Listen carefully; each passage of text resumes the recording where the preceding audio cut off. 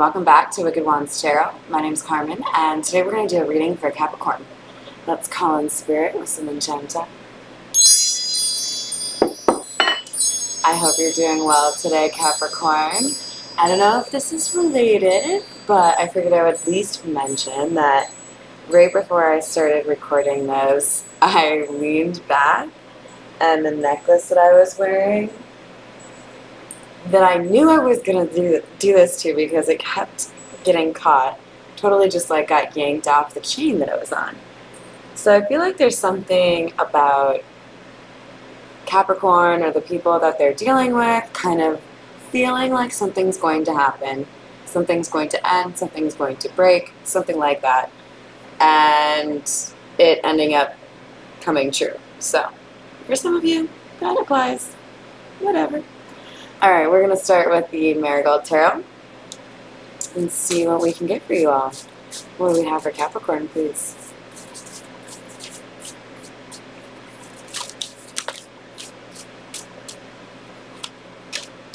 So we have the Fool. It's not always at the top of the list when it comes to favorite cards, but this is one of my favorites because it speaks to having the courage and the boldness to live your life the way that you decide and take leaps of faith that sometimes people think that's kind of stupid. But I always admire the fool because it's somebody who's willing to live life the way they think they're meant to, and I think that's fucking rad. Alright, what else do we have for Capricorn? Here's the Fool, by the way. I love it because this deck has a ton of skeletons. It's one of my favorite things ever. What else do we have for Capricorn, please?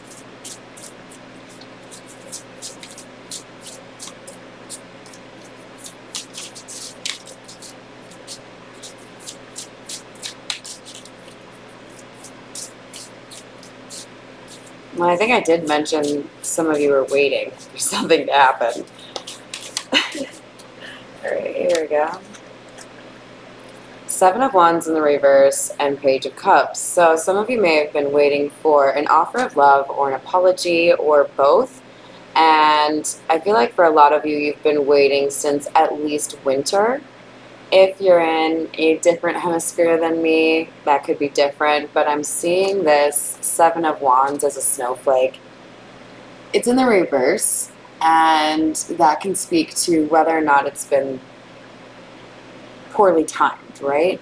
So somebody here maybe got sick of waiting and decided, shit, I'll just venture off into the unknown and see what amazing adventures I can happen upon, right? Like, why sit here and wait for somebody? I don't know why, but Narnia, the Chronicles of Narnia are popping into my head. Just that idea of like, yeah, I was told not to go into the wardrobe, but like, I want some fucking adventure. so sue me. So we have the Knight of Rings, or the Knight of Pentacles in the reverse, and the Nine of Rings, and the Nine of Pentacles. It's like people think you're moving too quickly or recklessly towards something and it will lead to your being destitute or somehow financially stuck. So for some of you, this could be like a business venture that you're really passionate about that other people don't really understand. Um, for others of you, this could be a relationship where they are mistrusting of the person that you're interested in.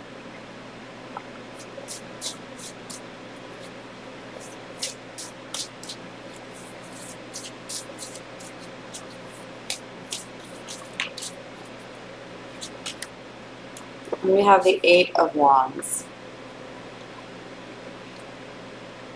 So timing may have been off for a long time, but it feels to me like the stars are aligning. It feels to me like we've reached the point that we needed to. So somebody may feel like it's finally the right time to initiate communication after a period of silence or no contact.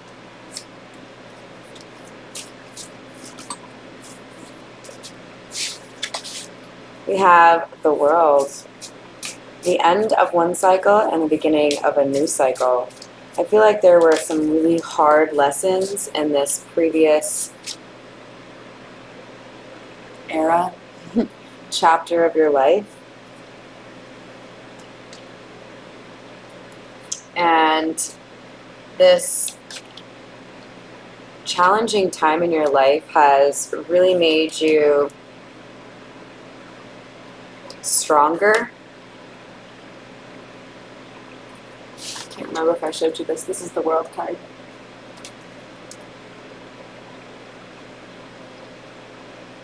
And more bold, which is why I think for some of you there's a chance this world card clarifying the fool is actually speaking about a desire to move to a new part of the world. It doesn't have to be, you know, across the world, but I feel like there's a sense of adventure that could bleed into where do I actually want to live? Where do I want to experience, you know? Um, with the Knight of Cups clarifying the Seven of Wands in the reverse, I feel like there's somebody in regret over failing to communicate about a love situation honestly or directly. And with the Knight of Wands clarifying the Page of Cups, I feel like there was inconsistent or unreliable energy coming from this person so that trust was either never built or difficult to repair once it was broken. So I feel like it took a while, but eventually the other person in this equation decided, I don't really have time to sit around and wait for you to figure out your shit, so I'm gonna go over there. That was like fun. And it's justice for that to have happened. This is how it was supposed to play out. If you want something, you have to go and get it. If you love somebody, you have to fucking say it. Or you lose it, right? So, justice clarifying the Knight of Rings. There's something here about not approaching things with the right intentions or with the right plan, right? So, when your intent is not on the up and up, you pay the consequences. So I feel like somebody is getting karma here for how they've treated other people because they fucked with an empress.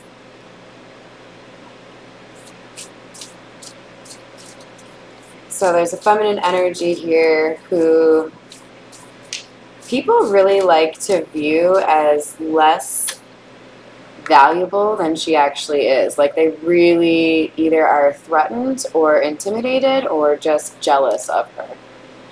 And we have the Ten of Wands. This is clarifying the Eight of Wands. Somebody is overburdened by the lack of communication with this Empress, and even though it's what they thought they wanted, they can't do it anymore. They have to reach out. Capricorn, I'm going to clarify further with the Egyptian Tarot. What else do we have for Capricorns? High Priestess. She came out sideways, so I feel like there's been a journey here for somebody. Perhaps at the outset there was some lack of clarity or even confusion around what kind of gifts or how to use these gifts. But I feel like somebody has worked to cut out the noise, cut out the people that aren't really there to support you. And this has improved the discernment and intuition of the individual who's looking to embark on a new adventure here. And now there's less confusion. We have the Seven of Cups in the reverse. So where there was previously confusion, particularly in how one relates to others emotionally, now there's a strength and a perseverance in this person. Uh, it feels a lot to me like somebody who's fallen in love with themselves and enjoys spending a lot of time alone not really eager to give up that alone time for people that would fail to understand how to have like a an open and honest uh, emotional connection. So we have the King of Wands clarifying the Knight of Wands. There is somebody here who has learned a little bit of a lesson when it comes to matters of the heart, I believe. somebody who was breadcrumbing or trying to ignore how they felt about this high priestess or this empress is now very focused on her. I feel like this individual has also seen things a little bit more clearly recently. There could have been something in particular that kind of jogged this person's memory or helped them see things from a different perspective. But they now see this high priestess as very high honor. And I feel like there's a focus here on wanting to make an offer of love, but they have someone following them around. This is like a horrible lover's triangle. It feels to me like there's a high priestess that's like unbothered, doesn't give a fuck. Like, I'm over here like painting my own nails. What's up? Can I help you? And then this King of Wands is like, yo, I totally fucked up in the past. I thought you were just kind of like some stupid thought. And then like, it looks like actually I kind of love you. So I probably shouldn't have treated you like that. And I kind of want to like, I don't know, apologize and see if you're still like. And then there's this other chick who's like, hey, but like, I don't even really wear my dress the whole way, so like, you can see the goods and stuff, and like, I really want you to like me. And he's like, not at all interested. so it really feels to me like, especially because the King of Wands tends to be a more attractive or alluring masculine energy, there are women pursuing matters of the flesh with this King of Wands, and he is laser focused on trying to find something meaningful with this high priestess that he himself rejected. We have the Knave of Swords clarifying the Empress. He's been studying this Empress somehow. He might be looking at her social media. He might have found,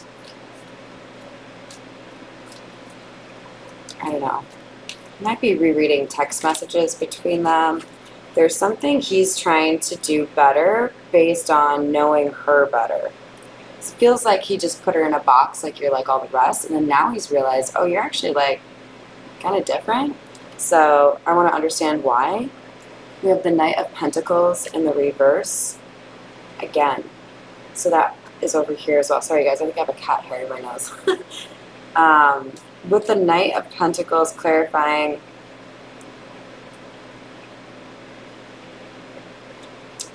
the Ten of Wands, somebody is putting, putting, putting down the burden associated with stagnation. I think it's, they're literally cutting out the other people that were distractions because we have Two of Cups in the reverse. But it was like very much so on this. Like, if we don't have a strong emotional connection, I don't want to put like I don't want to invest time in you. I don't want you to be a distraction for me. But I feel like there's also a concern here on the uh, King of Wands part that she doesn't actually have any interest in him. We have the Five of Cups in the reverse because he can see that she isn't, you know, lamenting how things ended or like crying over the loss of him. She may have at one point, and he may have seen that or been aware of it, but now he knows she's over there like, and no, I'm good. I went shopping, I got a cute new dress. What's up? Nine of Swords is the next one out. This is clarifying the, the uh, King of Wands. So I feel like he's trying to present himself as doing better than he actually is because he wants to be seen as this, you know, attractive potential partner.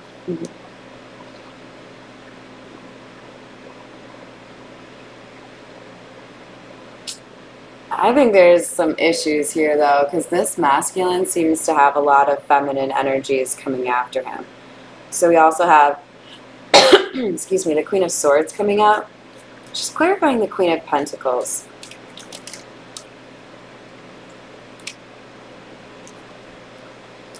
And it feels to me like there is some karma being delivered here to these feminine energies. They could have been cruel to this high priestess because they were jealous of her and getting caught up on this King of Wands who then is like completely uninterested in them could be something that they have to go through. Then we have the Four of Cups in the reverse.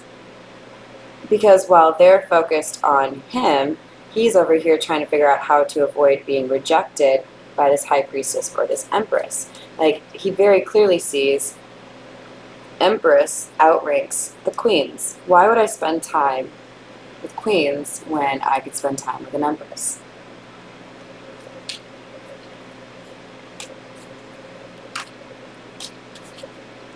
And we have the Nine of Wands clarifying the Knight of Pentacles in the reverse. So there's also something here about not wanting to make the mistake of taking too long or hesitating, letting somebody else get in and make an offer to this High Priestess, for example. I feel like the King of Wands has already done something here to fuck up. He has this understanding that this is like his last chance with the Empress, and he has to like approach it correctly, and he also has to like keep in mind that there are probably other people that are interested in her as well. If this is resonating for you, go ahead and give me a like or a subscribe. We're going to use the Gypsy Oracle to close it out for you and get just a little bit more clarification. What else do we have for Capricorn, please?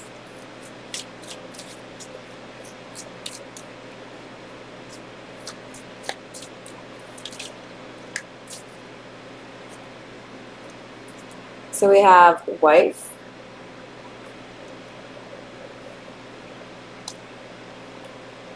and cheerfulness.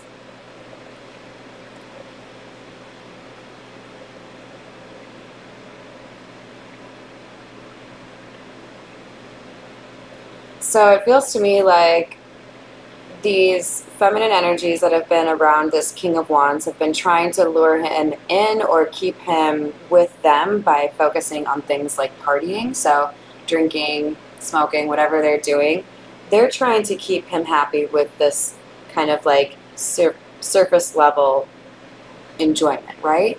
Whereas he's over here looking at this feminine energy as the real source of happiness, long term happiness, wife material. This is somebody that it, it isn't that like, let's have fun for four hours and then tomorrow I wake up and it's real life again. It's, you make me happy because you're my partner care about me, you support me. He's leveled up in terms of what he wants out of a partner, and these feminine energies don't really understand that. They've not seen this from him before. Soldier is coming out. The King of Wands is a warrior. The Queen of Wands is a warrior. But this seems to imply that for some of you, this masculine energy could be law enforcement or, you know, an army veteran. There's something here about this King of Wands being very disciplined. So I think this is in, in part to say when he made up his mind, there wasn't any pivoting, you know? Like, no, I, I've cracked the code. I know which direction I need to go. I'm going to fucking go that direction. But these ladies were not, not very excited to hear that.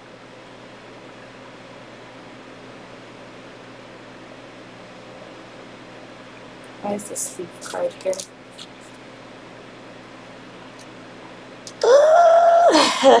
okay, that's what I thought.